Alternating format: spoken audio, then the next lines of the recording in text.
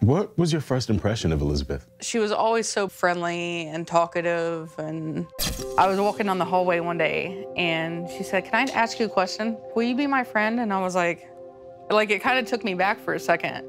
And I was like, Yeah, I'll be your friend. And she was like, Oh, okay. And like she was so happy about it. Like she went and told everybody, like, Jessica's gonna be my friend. And her eagerness was amazing. I could see that is like getting to you as you talk about it. Yeah. Just because I know it'll never happen again.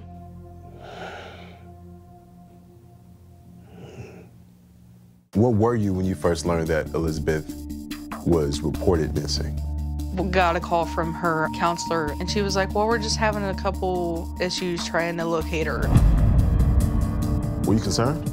I was a little concerned just because of how innocent she was. She trusted anybody and everybody. Everyone in Elizabeth's circle, including Cindy Swanger, another support coach at LifeWorks, frantically tried to reach her. What happened when you called her? I had been looking, calling, texting, asking neighbors. Did you call the police?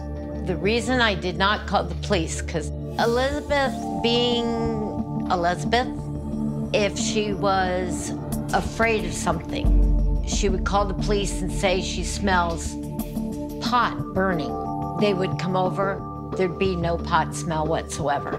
With Elizabeth suffering from mental health issues, it's not unusual to have delusions, and these can be very frightening, and for her, real.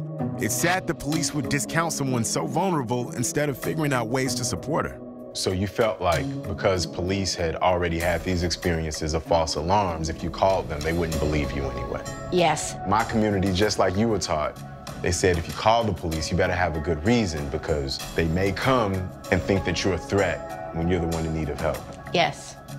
And I've had other experiences with some police officers that they did not believe me.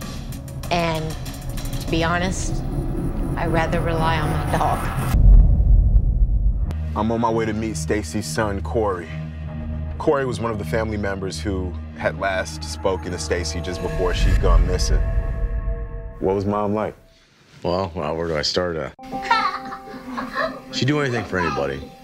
God, look what he's done to my thing. She would. She'd give you the shirt off her back if you needed it. She was in the healthcare field, and she would take pictures with her residents on their birthdays, and she'd take them in cake. And she just was a very loving person. Where was uh was dad in the picture? No, she met another guy, and he started drinking quite a bit. She did struggle a little bit with drug use, but um, she did her best with the hand she had been dealt. At the end of the day, she was still my mom, Yeah. and she still loved and cared just as much as anybody else does in this world. The night Stacey went missing, she had been sober for over a year. We were supposed to meet up with my brother and my aunt Gina. Gina is Stacey's older sister, but only by 11 months. The two were inseparable, but this one night changed everything. We were all at Applebee's eating dinner, and she was actually supposed to go with us. And we were at dinner when we got a phone call that she had a flat tire. With their mother now missing for more than 72 hours, Stacey's sons didn't want to wait for police to step up.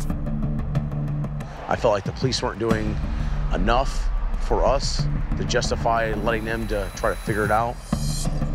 So we took upon ourselves. At that point, I didn't know somebody stuffed her in the trunk. So the next thing we did, we opened the trunk. He opens the trunk up, looks in there, nothing.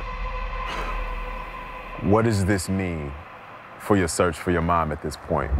At this point, my brother was able to just kind of walk by the car, and he opens the car door.